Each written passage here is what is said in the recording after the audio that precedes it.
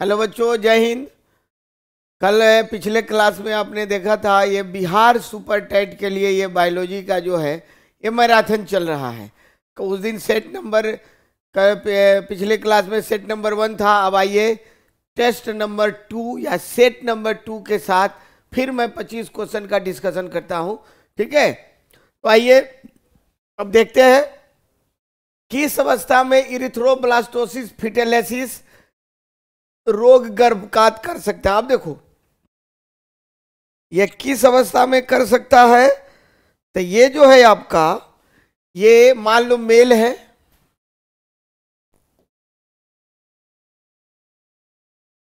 ये आपका male male, ये आर एच पॉजिटिव है। और इनकी शादी हो गई फीमेल से, फीमेल, ये आर एच निगेटिव है। मेल कोई भी blood group R H positive और ये फीमेल कोई भी blood group R H negative अगर है तो इनकी अगर शादी हो रही है तो पहला बच्चा अगर हो गया आर एच पॉजिटिव तो इस पर कोई प्रभाव नहीं पड़ेगा। और इसके बाद जितने भी बच्चे होंगे, दूसरा, तीसरा, चौथा, पांचवा, ये जो भी बच्चे होंगे, सब गर्भ में ही मर जाएँगे। इसी को क्या बोलते हैं? इरिथ्रोब्लास्टोसिस कहते हैं। लेकिन अगर पहला बच्चा निगेटिव हो गया तो एक भी बच्चा सरवाइव नहीं करेगा। ये 20-25 साल पहले का कंसेप्ट है। अब दवा आ गया है। अगर लड़का पॉजिटिव लड़की निगेटिव है तो ये इंजेक्शन लगता है डिलीवरी के पहले और डिलीवरी के दो, तुरंत बाद। अब देखो, सब कोई शिक्षित हो गए हैं। शादी होती है, जैसे पत्नी प्रेग्नेंट होती है, लोग डॉक्टर यहाँ जाते हैं। दोनों का ब्लड ग्रुप टेस्ट होता है। अगर इस तरह का कंडीशन होता है तो तुरंत डिलीवरी के पहले इंजेक्शन और तुरंत डिलीवरी के बाद इंजेक्शन दिया जाता है। फिर उनको जितने चाहे उतने संतान हो सकते हैं। ठीक है? तो ये क्या हो जाएगा? आर एच पॉजिटिव पति और आर एच निगेटिव पत्नी। इसलिए जब भी आपके आसपास जो भी शादी होती है और पत्नी प्रेग्नेंट होती है तो तुरंत डॉक्टर से कंसल्ट करना चाहिए। ठीक है? तो ये हो जाएगा, लड़का आर एच पॉजिटिव, लड़की आर एच निगेटिव होगा। उस कंडीशन में ये आपको हो जाएगा। हीमोग्लोबिन में कौन सी धातु होती है? अब देखो, हेम का मतलब होता है, हेम का मतलब होता है आयरन और ग्लोबुलिन। ग्लोबुलिन क्या है? प्रोटीन है। तो हेमोग्लो, हेम, आयरन जो है, ग्लोबुलिन प्रोटीन से कंबाइन करके क्या बनाता है? हेमोग्लोबिन बनाता है। और हेमोग्लोबिन में कौन सी धातु होती है? ये आयरन धातु होता है, लोहा धातु होता है और हेमोग्लोबिन के कारण ही रक्त का रंग क्या होता है? लाल होता है और हेमोग्लोबिन को जो है रेस्पायरेटरी पिगमेंट श्वसन पिगमेंट भी बोलते हैं। यह जो है, श्वसन में सहायक होता है। क्यों? क्योंकि यह जो है ऑक्सीजन से कंबाइन करके क्या बनाएगा? ऑक्सी हेमोग्लोबिन हेमोग्लोबिन और ये CO2 से कंबाइन करके क्या बनाएगा? कार्बोक्सी हेमोग्लोबिन का निर्माण करेगा। हेमोग्लोबिन का निर्माण करेगा। ठीक है? तो इसको श्वसन पिगमेंट भी बोलते हैं हेमोग्लोबिन को। तो इसमें कौन सी धातु होगा? आयरन धातु होगा। ठीक है? अब नेक्स्ट क्वेश्चन पर चलते हैं। ए बी रुधिर के व्यक्ति का रुधिर दिया जा सकता है। ए बी ब्लड ग्रुप किसको देगा? तो ए बी ब्लड ग्रुप देना होगा तो सिर्फ़ अपने ब्लड ग्रुप को देगा, ए बी को देगा और लेना होगा तो वह क्या करेगा? सभी से लेगा। यानी देना होगा तो ए बी को देगा और लेना होगा तो सिर्फ़ सबसे लेगा। ठीक है? तो ये क्या हो जाएगा? ए बी को देगा। अब देखो, आप जानते हो कि ओ सबको देता है क्योंकि इसमें क्या नहीं होता है। एंटीजन, यानी प्रतिजन नहीं होता है। और ए बी सबसे लेता है क्योंकि इसमें एंटीबॉडी, यानी प्रतिरक्षी नहीं होता है। ठीक है? तो ये तो सीधे हो गया ओ और ए बी अगर कभी निगेटिव पॉजिटिव में आंसर हो ओ सबको देता है, सर्व, सर्वग्राही, और ए बी सर्वदाता और ए बी सबसे लेता है तो सर्वग्राही। लेकिन अगर पॉजिटिव निगेटिव में आंसर हो, आप पूछेगा तो इसमें कौन सर्वग्राही है और कौन सर्वदाता है तो दोनों में आंसर ओ निगेटिव ही होगा। ओ निगेटिव ओ निगेटिव सर्वदाता, और ए बी निगेटिव सर्वग्राही। ये नया कंसेप्ट आया है। ठीक है? तो दोनों में निगेटिव ही आंसर करेंगे। अगर पॉजिटिव निगेटिव में हो, आ क्वेश्चन पूछे कि कौन सर्वदाता है, कौन सर्वग्राही है तो वो निगेटिव सर्वदाता और ये भी निगेटिव सर्वग्राही। और नहीं तो वो सबको देता और ये भी सबसे लेता है। तो ये भी को देना होगा तो सिर्फ़ ए भी को देगा और लेना होगा तो सबसे लेगा। ठीक। नेक्स्ट क्वेश्चन एंटीजन होते हैं। एंटीजन क्या होता है भाई? एंटीजन के विरुद्ध डब्ल्यू बी सी एंटीबॉडी को बनाता है। आप देखो, आपको चेचक का टीका लगा है या आप पोलियो का लिए हो, वैक्सीन टीका डीपी टीका लिए हो, जापानी इंसेफेलाइटिस का लिए हो, अभी आप कोरोना का लिए हो तो जो टीका वैक्सीन होते हैं, वो उस रोग के एंटीजन को शरीर में डाल दिया जाता है। और उसके बदले में डब्ल्यूबीसी क्या करता है? एंटीबॉडी का निर्माण कर देता है, यानी रोग प्रतिरोधक क्षमता। कोरोना से इतना लोग क्यों मरे? क्योंकि कोरोना से लड़ने की हमारी क्षमता नहीं थी। हमारे शरीर में ये एंटीबॉडी नहीं था। मान लो, कोई देश है तो देश पहले से सेना की बहाली करके ट्रेनिंग देके रखेगा, तब ना युद्ध के समय में जाके सेना लड़ेगी। अब युद्ध छिड़ गया, तब उस सेना की बहाली कर तो वही कोरोना में हुआ, युद्ध छिड़ गया और सेना शरीर में था ही नहीं तो इसके कारण लोग मरे। तो हम लोगों ने, सभी लोगों ने वैक्सीन ले लिया, first dose, second dose, booster dose, और उससे लड़ने की हमारी क्षमता डेवलप हो गई, जिसके चलते भविष्य में वो रोग होगा नहीं। अगर होगा तो उससे मरने की संभावना क्या होगा? काफ़ी कम होगा। या तो मरिएगा नहीं, ठीक है? मरने की संभावना न के बराबर तो ये क्या है? एंटीबॉडी के निर्माण हेतु उत्प्रेरक। ये क्या हो गया? एंटीबॉडी के निर्माण हेतु उत्प्रेरक, यानी यह एंटीबॉडी का निर्माण करता है। ठीक है? आइए नेक्स्ट क्वेश्चन देखते हैं। पिता ए रुधिर वर्ग और माता बी वर्ग की हो तो उनकी संतानों में कौन सा ब्लड संभव है? मान लो पिता ब्लड ग्रुप ए है, माता बी है यहाँ पॉजिटिव, निगेटिव से कोई मतलब नहीं है तो उनमें चारों ब्लड ग्रुप होगा। कौन? ए बी ओ और ए बी इन चारों में से कोई भी ब्लड ग्रुप हो सकता है। माता ब्लड ग्रुप ए पिता भी हो, या मा, पिता ए हो, माता भी हो तो बच्चों में, इन चारों में से कोई भी ब्लड ग्रुप हो सकता है। ठीक है? तो चारों ब्लड ग्रुप होगा। ए होगा बी होगा ओ होगा और ए बी होगा। ठीक है? ऊंचाई पर मनुष्य में लाल रुधिर कणों की संख्या बढ़ जाती है। क्यों बढ़ती है? तो ये देखो 4200 मीटर की जब ऊंचाई पर जाएँगे, यानी 4.2 किलोमीटर की ऊंचाई पर जाएँगे तो जितना आरबीसी है उसका 10 परसेंट हमारे शरीर में बनता। है क्यों? तो आप जानते हो कि ऊंचाई पर जाने पर हवा का दबाव जो होता है, ये कम होता है। हवा का दबाव कम होता है ऑक्सीजन भी कम होगी। और यहाँ पर आरबीसी के साथ क्या होता है? हेमोग्लोबिन अटैच होता है। हेमोग्लोबिन अटैच होता है। और यह हेमोग्लोबिन ऑक्सीजन को कैरी करता है, जो हमारे श्वसन की क्रिया को सुचारू करता है। तो ऑक्सीजन की क्रिया, श्वसन की क्रिया को क्या करेगा? सुचारू करेगा। तो ऊंचाई पर जब जाएँगे तो ऑक्सीजन की मात्रा कम हो जाती है तो आरबीसी बढ़ेगा। आरबीसी जितना बढ़ेगा, उसके साथ हेमोग्लोबिन अटैच होगा। और हेमोग्लोबिन थोड़ा थोड़ा जो ऑक्सीजन को कैरी करेगा तो हम लोग को सांस लेने में दिक्कत नहीं होगा। अब आप ऊंचाई पर जाइएगा, दो चार पाँच दिन रहिएगा तब। अब ऐसा नहीं कि यहाँ से पटना से उड़ के चेन्नई चले जाइएगा तो उतने देर में आरबीसी बढ़ जाएगा, उतना देर में नहीं बढ़ेगा। ठीक है? तो ये हो जाएगा ऑक्सीजन ऑक्सीजन रारोधी संख्या बढ़ जाती है, क्योंकि वहाँ ऑक्सीजन क्या होता है? कम होता है। और ऑक्सीजन कम होता है तो हमारे श्वसन का कार्य रुके नहीं, बाधित नहीं हो, उसी के कारण ये आरबीसी की संख्या क्या होती है? बढ़ जाती है। क्लियर नेक्स्ट किस प्राणी में रुधिर नहीं होता है, किंतु श्वसन होता है?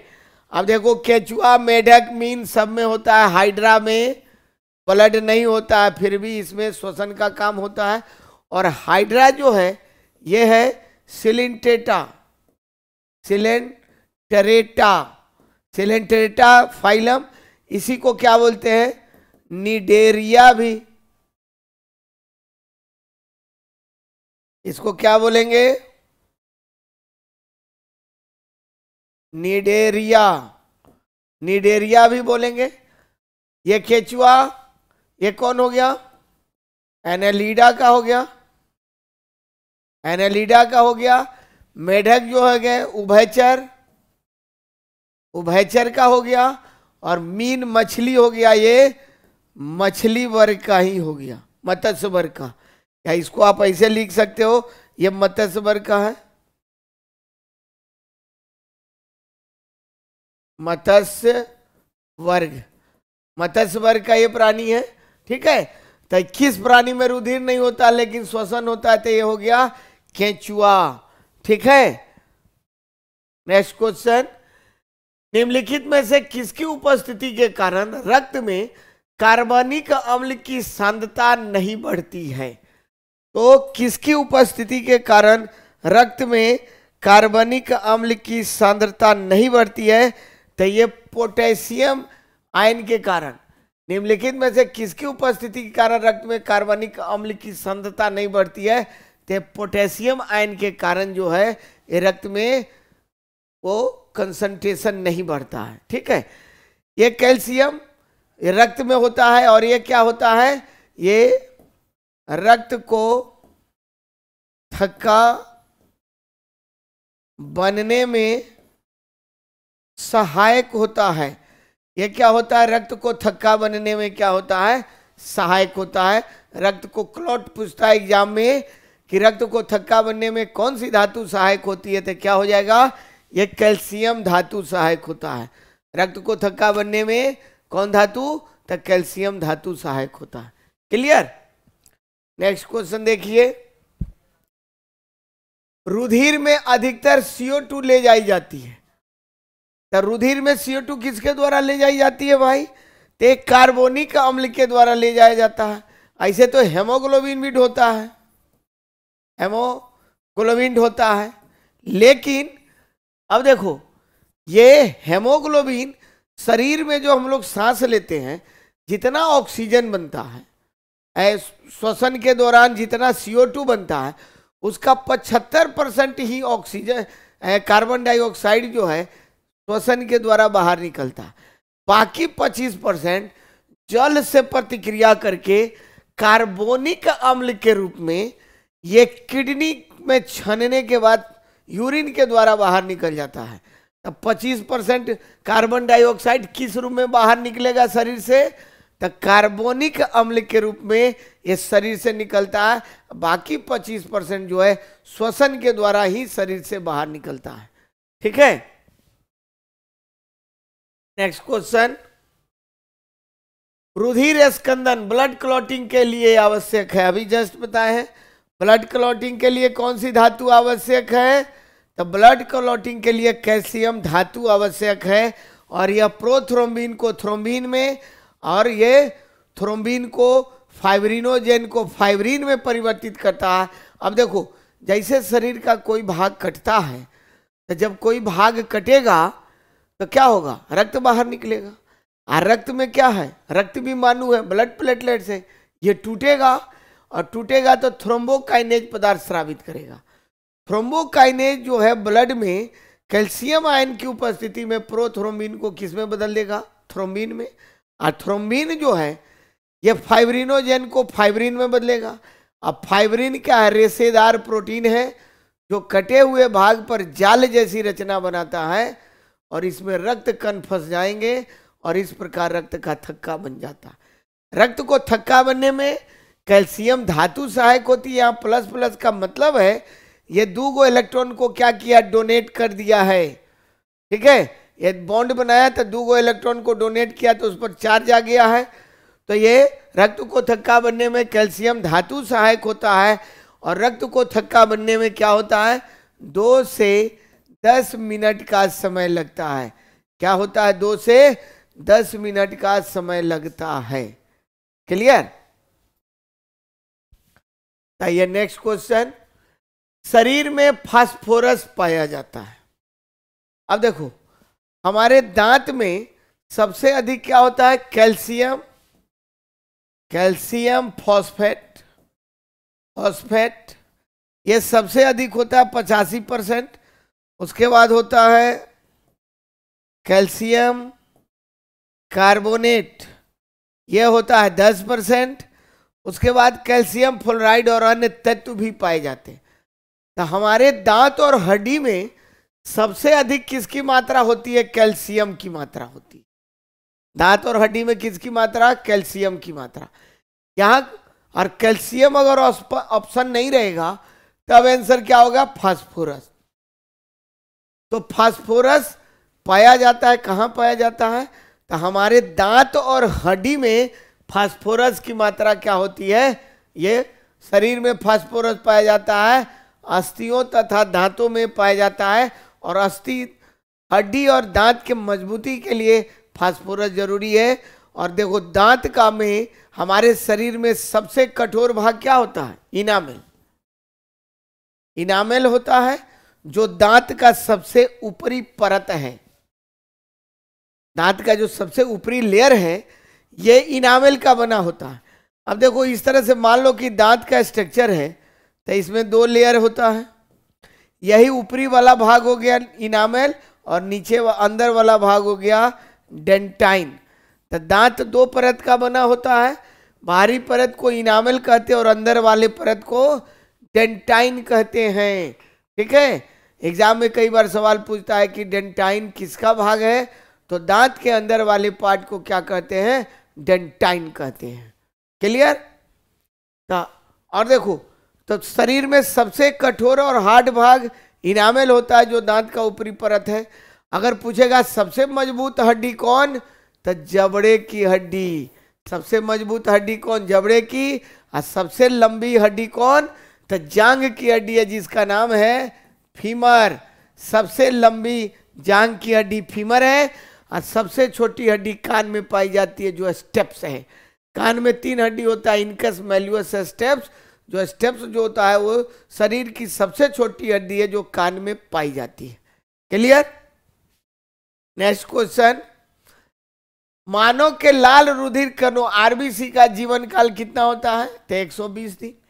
आरबीसी का जो निर्माण होता है, वह होता है बोन मैरो बोन मैरो यानी अस्थि मज्जा। अस्थि मज्जा समझते हैं, आप मटन खाते हैं, मटन में मान लो कि ये हड्डी है तो इसमें देखिएगा, आप चूसते हैं तो कुछ मांसल पार्ट निकलता है। यही आपका क्या है बोन मैरो है। अस्थि मज्जा है, और यहाँ पर आरबीसी आरबीसी डब्ल्यूबीसी और ब्लड प्लेटलेट्स रक्त बिंबाणु और रक्त पट्टिकाणु का निर्माण जो होता है यह अस्थि मज्जा में ही होता है। तीनों का तीनों का निर्माण अस्थि मज्जा में होता है। और तीनों में आरबीसी और रक्त बिंबाणु रक्त बिंबाणु में केंद्रक नहीं होता है, लेकिन डब्ल्यू में क्या होता है? केंद्रक पाया जाता है। तीनों में केंद्रक नहीं होता है, लेकिन डब्ल्यू में केंद्रक पाया जाता है। और तीनों की में मृत्यु जो होता है, ये आरबीसी और रक्त बिमाणु का मृत्यु जो होता है, ये प्लीहा में होता है। प्लीहा जिसको स्प्लिन बोलते हैं, आ, हिंदी में तिल्ली भी कहते हैं, तिल्ली या प्लीहा कहते हैं, लेकिन डब्ल्यूबीसी की मृत्यु कहाँ होती है? तो रक्त में ही हो जाता है। डब्ल्यू की मृत्यु कहाँ होगी? रक्त में ही होती है। ठीक है? तो इसका जीवन काल कितना 120 दिनों का होता है। क्लियर? मानव के रक्त की सामान्य पीएच कितना होता है? सात दशमलव चार। और जैसे ही इसका पीएच मान सात दशमलव चार होगा तो क्या हो जाएगा? क्षारीय होगा। आ, रक्त क्या है? संयोजी उत्तक संयोजी उत्तक है। अब देखो, संयोजी उत्तक में यह तरल संयोजी उत्तक तरल संयोजी उत्तक है। क्या है? तरल संयोजी उत्तक कभी कभी एग्ज़ाम में पूछता, देखो संयोजी उत्तक में तरल और ठोस दोनों होते हैं। ठोस में हड्डी आ गया तरल में ब्लड आ गया तो तरल संयोजी, अगर मान लो, परीक्षा में पूछा कि रक्त होता है, संयोजी उत्तक भी रहे और तरल संयोजी उत्तक रहे, तब क्या लगा देंगे? तरल संयोजी उत्तक लेकिन अगर तरल नहीं रहेगा, सीधे संयोजी रहेगा, तब संयोजी उत्तक लगाएँगे। ठीक है? तो सात दशमलव चार होता है। शरीर में रक्त की मात्रा फाइव टू सिक्स लीटर होता है। मनुष्य में औसत रक्त की मात्रा पाँच से छह लीटर होता है और शरीर में रक्त की मात्रा, एक आदमी। एक आदमी में रक्त की मात्रा क्या होता है? शरीर के भार का सात परसेंट होता है। आप अपना अपना वज़न कराइए और आपके शरीर में जितना ब्लड वेट है आपके शरीर का, उसका सात परसेंट निकाल दीजिए। उतना ही आप में क्या है? ब्लड है। तो रक्त जो है शरीर के भार का सात परसेंट होता है, सेवन परसेंट होता है, ठीक है? और इसका पीएच मान सात दशमलव चार होता है, क्लियर? ये जल का होता है, शुद्ध जल का, शुद्ध जल का पीएच मान सात होता है, जल स्वादहीन, रंगहीन और गंधहीन होता है, और सात से कम जो है, ये अम्ल का पीएच मान होता है, और सात से अधिक जो होगा, वो क्षार का होगा, क्लियर?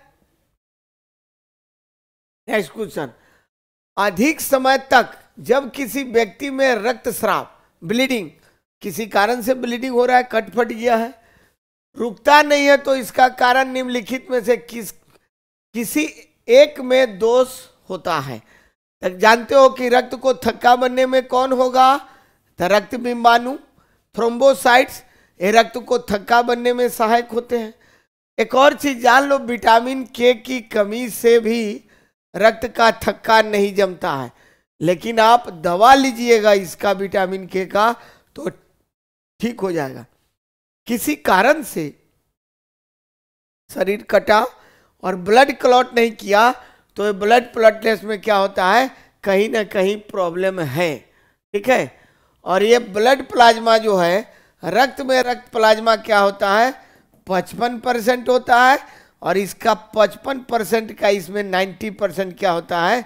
जल होता। है इस पचपन परसेंट का इसमें नाइन्टी परसेंट क्या होता है? जल होता। है ठीक है? और रक्त प्लाज्मा का रंग क्या होता है? ये हल्का पीला होता है। क्या होता है? ब्लड प्लाज्मा का पीला होता है। इसमें बिलीरुबिन पिगमेंट पाया जाता है। यानी बिलीरुबिन पिगमेंट का निर्माण क्या होता है? लीवर में होता है। बिलीरुबिन और बिलीवर्डिन। तब बिलीरुबिन के कारण रक्त प्लाज्मा का रंग पीला होता है और विलीवर्डिन के कारण पित्तरस बाइल जूस जब पित, पितायती में लीवर में निर्माण होता है यकृत में और जमा का होता है पिताशय में तो उसका रंग नीला होता है या हरा होता है या नीला होता है तो विलीवर्डिन के कारण उसका रंग वो होता है और बिलीरुबिन के कारण ब्लड प्लाज्मा का रंग क्या होता है? नीला होता है। ये पीला होता है। क्लियर नेक्स्ट क्वेश्चन रुधिर दाब ब्लड प्रेशर का नियंत्रण करता है। ब्लड प्रेशर का नियंत्रण कौन करता है भाई? तो एड्रीनल ग्लैंड में ये एड्रीनल मेडुला ठीक है? एक मेडुला एड्रीनल कॉटेक्स होता है, एक एड्रीनल मेडुला होता है। तो मेडुला एड्रीनल मेडुला से एक, थाई एड एड्रेनेलिन हार्मोन स्रावित होता। एड्रेनेलिन हार्मोन स्रावित होता है और इसी हार्मोन को क्या बोलते हैं? लड़ो या उड़ो। उड़ो। लड़ो या उड़ो हार्मोन कहते हैं। ठीक है? और ये जैसे मान लो, आप कहीं जा रहे हो, आपका मित्र पीछे से आके हु कर दिया। आप एक डर गए। तो जैसे डरे तो आपका बीपी क्या हो गया? बढ़ेगा या तुरंत सिक्रेट होगा, आपके बीपी को कंट्रोल करेगा। या अकेले में अंधेरा में जा रहे अब आप बच्चे थे, आप अपना बचपन याद करो। बचपन में आप गाँव में किसी के एक घर से दूसरे घर जाना होता था, रात में अंधेरा है तो हनुमान चालीसा पढ़ना तेज कर देते थे। भूत पिचास निकट नहीं आवे, महावीर जब नाम सुनावे। क्यों? आपको डर लग रहा है। जैसे उस कंडीशन में गए, आपका बीपी बढ़ेगा और एड्रिनल ग्लैंड से एड्रिनलिन हार्मोन स्रावित हुआ और ये आपको ब्लड प्रेशर को क्या किया? कंट्रोल किया। एक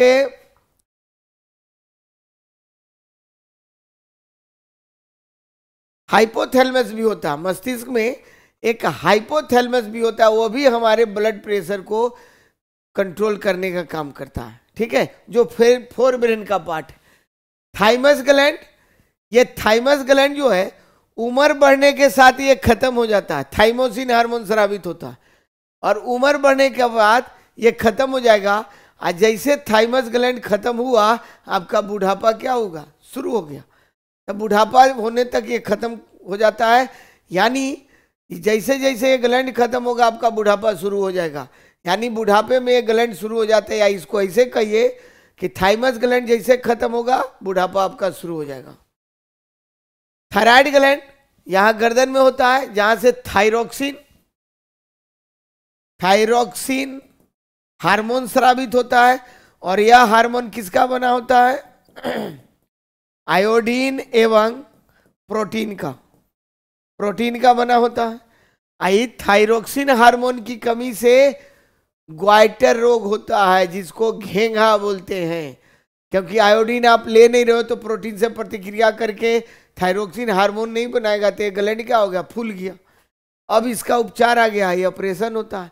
लेकिन जब आयोडीन युक्त नमक नहीं था तो बहुत लोगों को ये हो जाता था। अब तो सब आयोडीन युक्त नमक खाते हैं, इसलिए अब घेंगा रोग नज़र नहीं आता। उसके बाद कार्पस ल्यूटियम, ये ओभरी में कार्पस ल्यूटियम पाया जाता है, और जहाँ से प्रोजेस्टेरॉन हार्मोन स्रावित होता है। कहाँ से? प्रोजेस्ट्रॉन हार्मोन स्रावित होता है और यह हार्मोन महिलाओं में मेंस्ट्रुएशन साइकिल को नियंत्रित करता है, बच्चा के जन्म में सहायक होता है, सेकेंडरी सेक्सुअल करेक्टर के निर्माण में हेल्प करता है। जैसे मेंस्ट्रुएशन साइकिल प्रारंभ होना, मेंस्ट्रुएशन साइकिल प्रारंभ होना, शरीर अन्य जगहों पर बालों का विकास, स्तन का विकास ये सब प्रोजेस्टॉन हार्मोन का ये काम है और ये कार्पस ओवरी के कार्पस ल्यूटियन से में प्रोजेस्ट्रॉन हार्मोन स्रावित होता है। क्लियर रक्त में प्लाज्मा में सबसे अधिक क्या होता है? रक्त में प्लाज्मा में सबसे अधिक क्या होता है? तो प्लाज्मा में अभी बताएँ कितना होता है? नाइन्टी परसेंट क्या होता है? जल, और दस परसेंट भाग में क्या होगा? प्रोटीन कार्बोहाइड्रेट मिनरल्स मिनरल्स इत्यादि पाए जाते हैं, ठीक है? तो ये रक्त प्लाज्मा में 90 परसेंट क्या होता है? जल होता है और बाकी के 10 परसेंट में प्रोटीन, कार्बोहाइड्रेट, खनिज, लवण इत्यादि पाए जाते हैं। हार्मोन जो है, ये हार्मोन जो है, शरीर के विभिन्न क्रियाओं को नियंत्रित करने का काम करता है। क्या करता है? शरीर के विभिन्न क्रियाओं को नियंत्रित करने का काम करता है और यह प्रोटीन होता है। ठीक है? एंटीबॉडी यह प्रतिरक्षी है प्रतिरक्षी है। रोग प्रतिरोधक क्षमता डेवलप करता है एंटीबॉडी। लिम्फ, यह ब्लड में होता है लिम्फ, जो खनिज लवण को कैरी करने का काम करता है, ढोने का काम करता है, लाने ले जाने का काम करता है। क्लियर? तो ये क्या हो जाएगा? रक्त प्लाज्मा में सबसे अधिक क्या होगा? जल। रुधिर में एंटी स्कंदन एंटी कोगुलेंट पदार्थ मिलाया जाता है।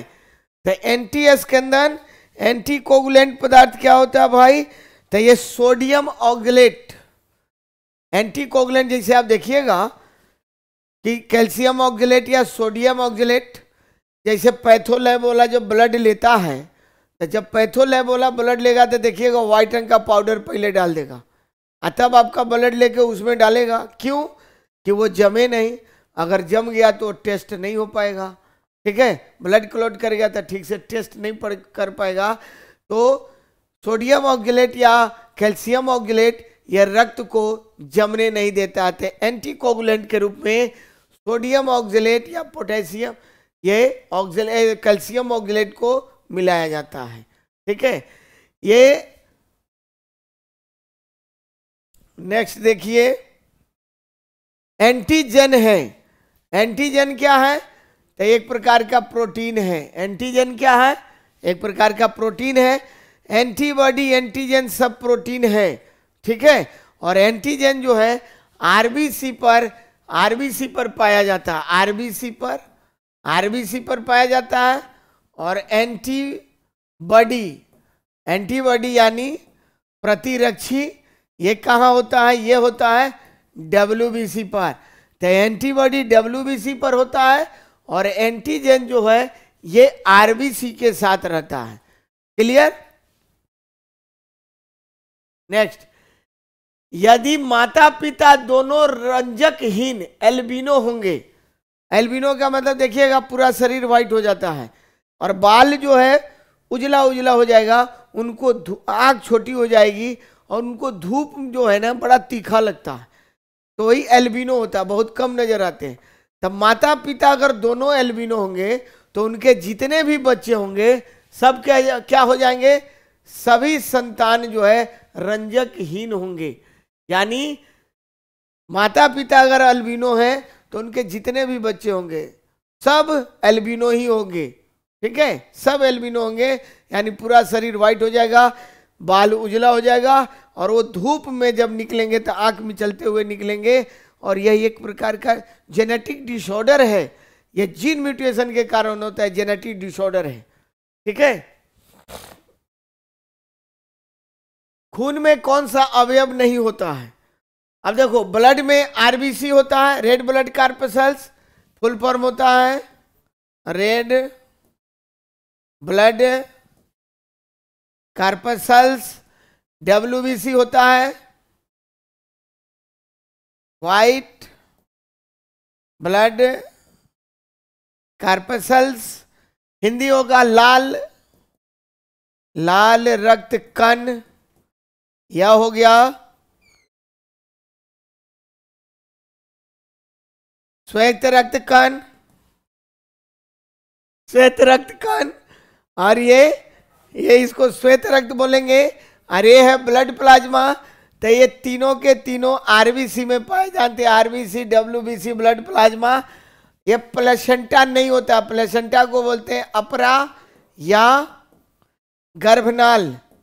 क्या बोलते हैं? प्लेसेंटा को अपरा या गर्भनाल। ये बच्चा जब यूट्रस में होगा, गर्भावस्था में होगा तो ये माँ के गर्भाशय से जुड़ा रहता है, जिससे वो भोजन या पोषण ग्रहण करता है। तो यह आर, यह जो है आरबीसी का पार्ट नहीं है, यानी यह रक्त का पार्ट नहीं है। क्लियर मुख्य रूप से कौन सी रक्त वाहिका हमारे शरीर में विभिन्न भागों में हृदय तक रक्त का वहन करती है? विभिन्न भागों से। अब देखो चला, ये जो यहाँ देख रहे पतली पतली भेन जो सिराएँ होती है इसमें अशुद्ध रक्त का प्रवाह होता है जो हमारे हृदय की ओर ब्लड लेके जाती है। और जितना इंजेक्शन देना, पानी चढ़ाना, सब क्या होता है? इसी में होता है। इसी में होता है पानी चढ़ाना, इंजेक्शन देना, सब इसी में होता है। ठीक है? और ये धमनी है। धमनी में शुद्ध रक्त का प्रवाह होता है तो ये हृदय से शरीर की ओर लेके जाता है। और सिराएँ शरीर से हृदय की ओर लेके जाती है।